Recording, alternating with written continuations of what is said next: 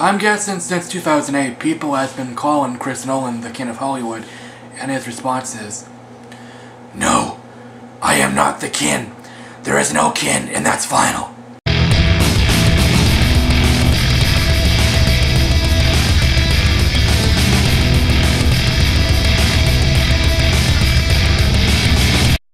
Hi guys, The Dark Knight Rises is the final chapter of the Dark Knight trilogy or Nolan series. I'll give you four names. Christian Bale, Tom Hardy, Anne Hathaway, and Joseph Gordon-Levitt. The plot is eight years has passed since the last movie. Bruce Wayne has retired as Batman. Not everyone misses Batman. And unfortunately, another terrorist group hits Gotham, led by the mysterious and all-powerful Bane. And not only does Batman have to return, he also has to rise up to meet the great challenges, several of them, not just one, and of course, he will need lots of help to take back the city and restore hope. This is my favorite Batman movie. I feel it's the greatest. If if you feel Batman Begins or Dark Knight is the best one, that's fine.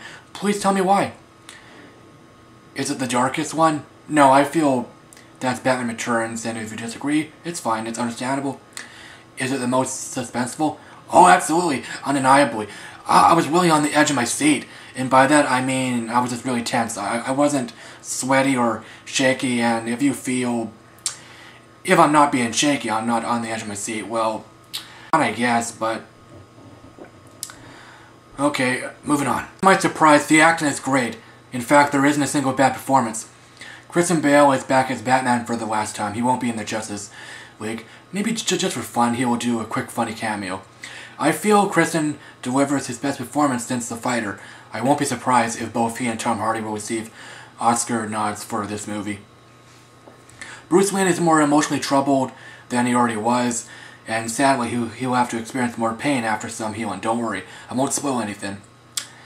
Like Heath Ledger, Tom Hardy has created a, a great comic book villain, and both guys weren't acting. They became the characters, the forces. Like Joker, Bane is colorful, menacing, and unstoppable. Who's a better villain? Well, you, you can't really compare the two because they're so different, but you can still have, have a preference. In fact, I won't be surprised to hear if some people say he or she has no preference. I prefer Joker because he's so careless, sadistic, and anarchy-loving. Bane has a cause. He feels he's doing good by doing some bad stuff, and Joker is the exact opposite. He's a real left turn. Catwoman is great. Uh, I'm, I'm not surprised that Anne Hathaway was great. I, I wasn't expecting her to be bad. The Princess Bride is the only one other Anne Hathaway movie I've seen. Catwoman is sexy, charming, and tough, and only mildly less interesting than Michelle Pfeiffer's Catwoman because Michelle's Catwoman is insane. Tim Burton's Batman characters are insane, and that's why some people don't like his movies or like them less, nearly as much as Christopher Nolan's Batman films. All three Nolan Batman movies are over two hours long. This is the longest, two hours and 45 minutes. You would think there are a few or several boring scenes. Maybe two dialogue scenes could have been cut out, but whatever.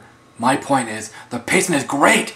I never felt bored. Um, close to every scene felt really necessary, like Inception. I have something to say about Dark Knight. I feel the Mr. Lau subplot could have been cut out or or cut down a bit, maybe 20 minutes could have been cut out, but whatever, that's my opinion. If you feel that subplot is very necessary, mm, that's fine. Yeah, the action is great. It's epic. Uh, even even without epic music, or maybe any mu music playing at all, it's still epic. It's still severe high candy, I guess. And yeah, it's practical. Maybe a few explosions, maybe a few car rolls or CG, but you know what? Um, not everything can be practical on every movie, and well, it's it's nice. Not every director is CGI heavy or CGI loving, yeah, whatever. Are there any flaws? Mm, not really. I mean, th th there are a few plot holes, but you know what? Plot holes are on. Nobody can avoid plot holes. I mean, Um, any plot hole can be major or minor, you know, stuff not everybody thinks about. And maybe a few plot points are a little forced. I'm sure everyone has heard about the Batman massacre. It's it's a real damn shame and well hopefully the culprit will be locked up for the rest of his damn life. If you don't mind, I'd like to take a moment of silence.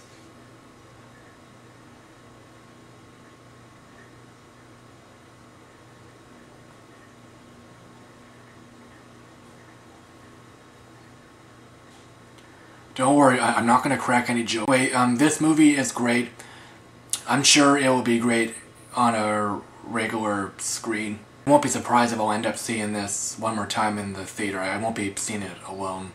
I will definitely buy it on Blu-ray. Hopefully the, the reboot will be great. It'll be nowhere near as good as Batman Begins. So, everyone who, who's worked on this movie, you did great. I give this an A if you like this video, if you if you want to follow me, please hit the subscribe button instead of contact sizing me. So anyway, um, take care now. Bye.